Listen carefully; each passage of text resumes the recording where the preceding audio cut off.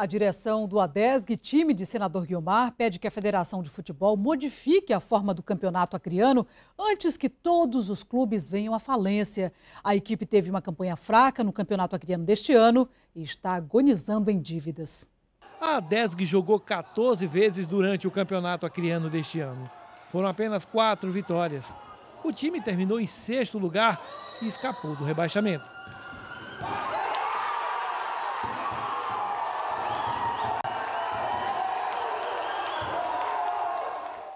A diretoria da ADESG não ficou triste com o resultado. Fora de campo, o time é o único que representa a cena do Guilmar no campeonato acriano. Ele tenta se levantar.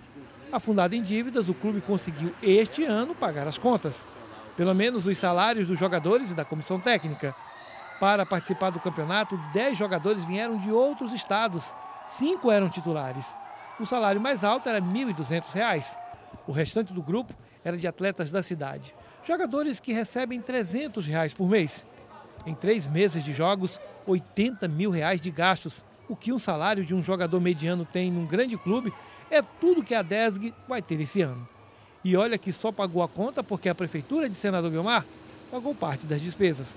Hoje a ADESG não tem mais nada, nem mesmo um local para treinar. A única coisa que o clube conseguiu em toda a sua existência foi comprar esse terreno. Só que nos últimos quatro anos, a Justiça mandou que vendesse essa área para pagar dívidas trabalhistas. São vários os processos trabalhistas que ainda estão tramitando na Justiça. Os dirigentes do clube querem mudar completamente a forma como vem sendo realizado o campeonato acriano. Os times jogam três meses, depois fica tudo parado, até o ano que vem quando os clubes só aparecem quando o governo injeta algum recurso. E mesmo assim, os estádios estão vazios. Se os clubes estão falidos e o número de torcedores está reduzido, cabe à federação descobrir qual é o problema. O governo do estado ele criou uma estrutura muito importante para a nossa época em relação ao passado, mas hoje a gente não consegue ter a qualidade do futebol que nós tínhamos na década de 60, 70 e 80. E isso tem é, criado uma falta de condições para que a população pudesse estar prestigiando o futebol do estado do Acre, até pela falta de qualidade que não existe no geral dos jogadores. Os clubes não investem nas categorias de base e quando vão apostar nos jovens, os recursos são tímidos. A DESG não tem time infantil nem juvenil, não tem nem onde treinar. A sorte é que o município tem um estádio público. É nesse estádio que encontramos o que falta no time. Esses dois ex-atletas treinam o Bangu, um time que mal tem dinheiro para a compra dos materiais. Os técnicos são voluntários e, se o projeto não se acabar, podem no futuro gerar craques para a DESG e até outros clubes.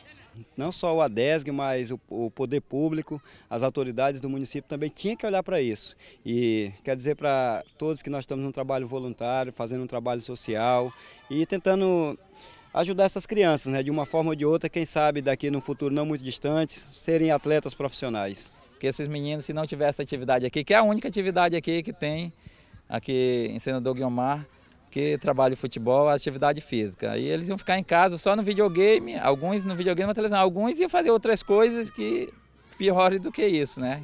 Esses garotos sonham em entrar no mundo da bola e ganhar dinheiro. Poucos vão conseguir. Mas eles ganharam outra coisa, a socialização. O Israel Costa, de 16 anos, é chamado de escopeta. Ele era o terror em casa e na escola onde estuda. Com o futebol, tudo mudou. Mas daqui meu comportamento era super um menino regressivo dentro de sala. Eu respondia a professora, é, xingava ela, de quando chegava dentro de sala não batia na porta, eu chutava. Agora estou mudando. Criar atletas e gerar bons cidadãos deveria ser papel da DESG, que hoje precisa contabilizar dívidas antigas. A atual diretoria tem uma grande barreira pela frente: manter um único representante do município no campeonato profissional. Não dá para olhar o time que já foi campeão acriano sem ter até uma sede onde encontrar a direção da equipe.